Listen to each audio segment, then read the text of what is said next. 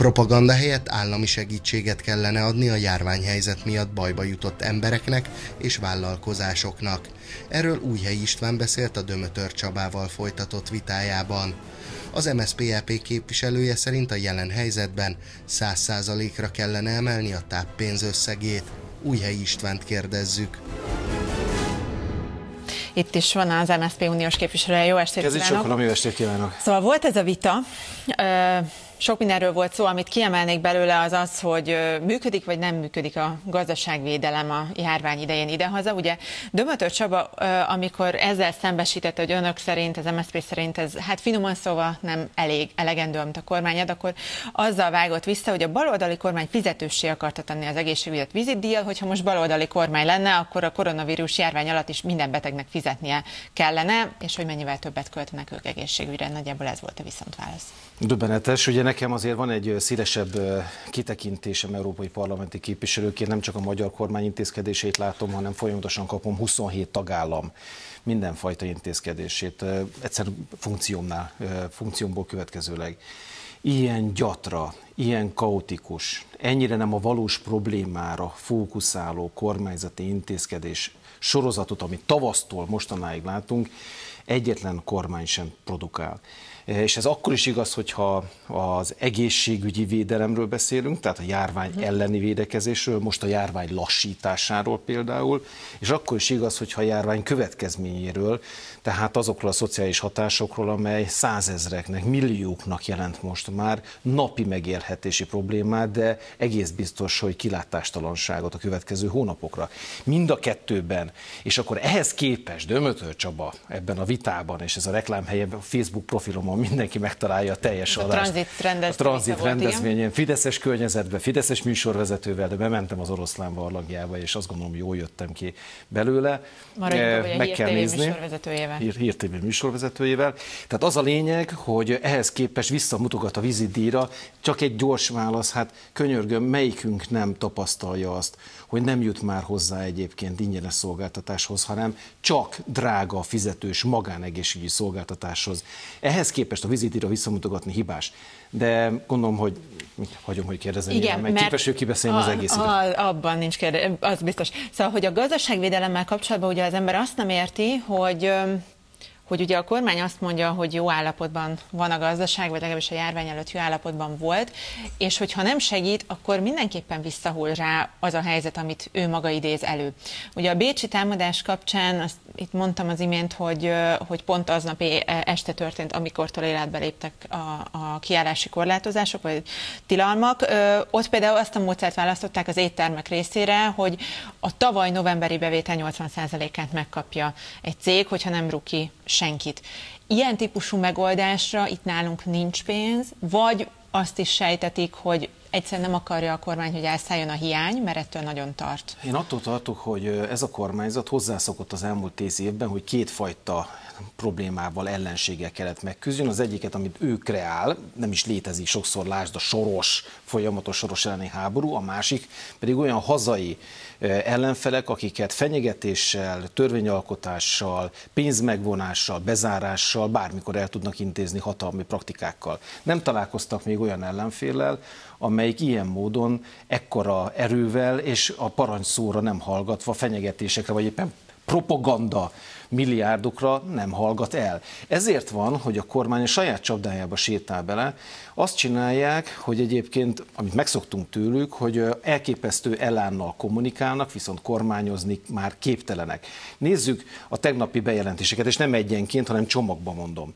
Valóban minden egyes eleme megtalálható valamelyik tagállami európai kormány intézkedései között. Mondhatja azt a kormány, hogy mi csupa olyan intézkedést hozunk, mint más tagállam. Igen, ám csak ha mélyre megyünk, azt látjuk, hogy az egyiknek akkor van csak értelme, hogyha egy másik intézkedést is meghoznak, amit már a kormány nem akart bevállalni. Hát meg jóval a, korábban hoztak meg. jóval korábban. Ausztriát hozza példának a kormányfő, miközben Ausztriában az egyik legszigorúbb a korlátozásoknak és a járvány lassításának a kormányzati intézkedés csomagja. De én most azért válaszok kétfelé, mert hatástalan és eredménytelen lesz sajnos az, amit most tegnap bejelentettek a járvány lassítása szempontjából. A másik része, ami a szociális-gazdasági következmények, és erre tetszett ki rákérdezni szerkesztő asszony, ez még tragikusabb, én azt gondolom.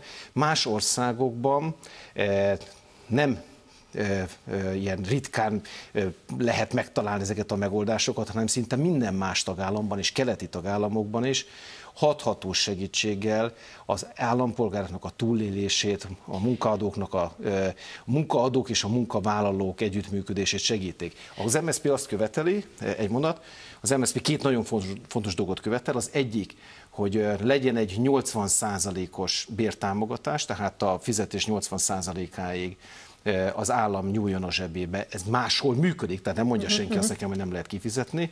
A másik nagyon fontos kérdés, és ez már járványügyi intézkedés, hogy százszázalékos táppénz járjon azoknak, akik a vírust elkapják, ugyanis sokan azért hallgatják el a betegségüket, és esetleg fertőznek másokat, mert 60%-os táppénz mellett holnap nem tudják Persze. megvenni a gyereknek Ö, Csak a téli még két téma, mind a kettőt próbáljuk röviden összefoglalni. Ugye szóba került az is, hogy az uniós munkahelyvédelmi forrásokból ön szerint nem elegendőt volna a kormány, és Dömötör Csaba erre, ebben vitában úgy fogalmazott, hogy az volt vele a baj, hogy zsaroló intézkedésekhez kötötték volna. Ez a mániájuk, hogyha valaki bele akar nézni, hogy hogyan költik a pénzt, és hogyan működik a magyar államot, akkor azok rögtön zsarolnak. Csak az adatokat mondom. Ezt a 100 milliárdos alapot, amit létrehoztunk az EU-ban, kifejezetten azért, hogy önfoglalkoztatók, egy fodrász, egy kozmetikus, egy taxis, bárkinek is tudjunk segíteni, és akár nagyobb cégek munkavállalóinak is Csak hogy értsék segíteni. a nézők, ebből mondjuk egy taxisnak mennyi jutna? Ebből például 80%-át most az, ebben az időszakban, amíg ez a válság tart, kifizethetné a magyar állam EU-s forrásból, a taxisnak egy átlagos bevételét, hát Aha. nyilván nehéz, azt meg kell, meg kell vele egyezni, hogy mennyi, de hogy egyébként egy példát mondjak Belgiumban, önfoglalkoztatóknál is, vagy egy irodai alkalmazottnál is, 1400 eurós havi állami appanást kap minden egyes munkavállaló azért, hogy ne rúgják ki, ne szüntessék meg a munkahelyét. Lehet, hogy otthon távmunkából, részmunkaidőben valamit csinál, Igen. de ebből tud megélni. Csak e- egy adat... Akkor az egészségügyért felelős biztosan folytatott beszélgetésére nem jut idő. Egy, egy mondatba belefoglalom. Magyarország mindösszesen 500 millió eurót kért az, Euró, e, e, az Európai Uniótól erre, miközben mondjuk Csehország, ami hasonló méretű és adottságú, 2 milliárd eurót. Azért 700-800 milliárd forintból ebben az országban mindenkinek oda lehetett volna adni azt a havi megélhetést, hogy ha azt állítja a miniszterelnök, hogy áprilisig tart ki ez a válság, és addig kell kihúzzuk, akkor innen követeli az MSP, hogy nyúljon a zsebébe a kormány, és fizesse ki. Az Európai Uniós biztosabb mai tárgyalásainkról pedig majd legközelebb beszélünk. Megyek tovább az Európai Egészségügyi Unió megvalósítása felé. Ezt a pénzt, ezt még kérhetnénk? Vagy ez, ez a kapu bezárult? Ö, nagyon fontos kérdés, ma adtam ki a kollégáimnak a feladatot, hogy holnap teszünk egy kezdeményezést az Európai Parlamentben, hogy ismételje meg, újítsa meg ezt a egyébként a tavaszi időszakra szóló tehát most bezáruló programot az Európai Bizottság, nyissuk újból, és addig ütöm a vasat, amíg a magyar kormány megérti, hogy az elitek lehet, hogy veszítenek egy-két milliárdot a maguk 50-60 milliárdjukból, de aki nem tud holnap fűtésszámlát fizetni, az bizony óriási bajba És akkor ez nem támogatás, vagy ez támogatás, nem visszafizetendő hitel, csak hogy ez, tisztázzuk. Ez, ez egy kedvezményes olyan hitel, amit az Európai Unió... Na, ezért nem akarja a kormány. Hát a paksi hitel az valahogy az kegyes neki, a kínai hitel kegyes neki, az is de amikor az Európai Unió vesz fel közös hitelt, abból mi miért nem akarjuk valóban a több százezer kiszolgáltatott munkavállalót eh, havi szinten támogatni.